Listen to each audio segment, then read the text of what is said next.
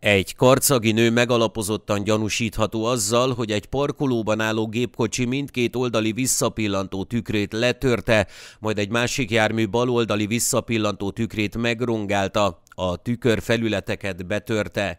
Ezt követően az asszony egy üzlet dupla hőszigetelt kirakat üvegének alsó részét addig rugdosta, hogy az betört, majd 435 darab, megközelítőleg 780 ezer forint értékű árucikket, köztük ruhaneműket, élelmiszereket, mosógéleket és tisztítószereket, állatfekhelyeket hordott ki az üzlet elé eltulajdonítási szándékkal.